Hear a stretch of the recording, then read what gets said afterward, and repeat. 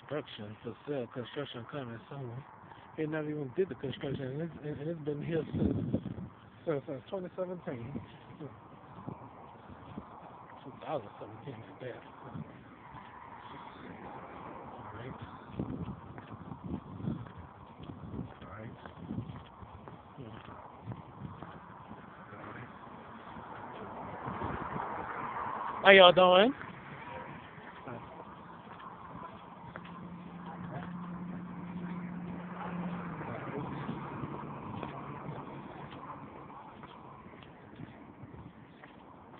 Don't know kind of ball they playing probably playing football over there. Oh well. I'll keep walking as I as I please.